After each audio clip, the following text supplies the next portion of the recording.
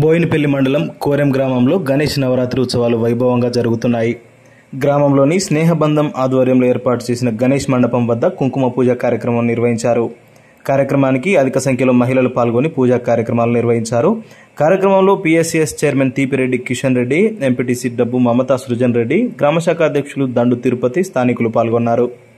సమర్పయామి సువర్ణత్మకజ సింహాసనం దత్తామి అక్షమరిండు సువర్ణత్మకజ సింహాసనం సమర్పయామి హర హర స్నానం మామూలుగా వెళ్ళండి చలాలి గంగే తమనేతేవ కృష్ణ గోదావరి సరస్వతి నర్మదా సింధు కావేరి జలస్మింసముద్ర శుద్ధోత్తర స్నాన అనంతరేణ అక్షంద్రేయండి అవసరం పెట్టండి అభివస్త్ర భోంచార దేహోద్యం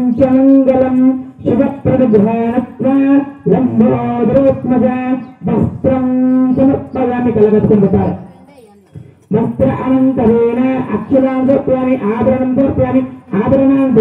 అలంకరణార్థం పసుపు కుంకుమ గంధ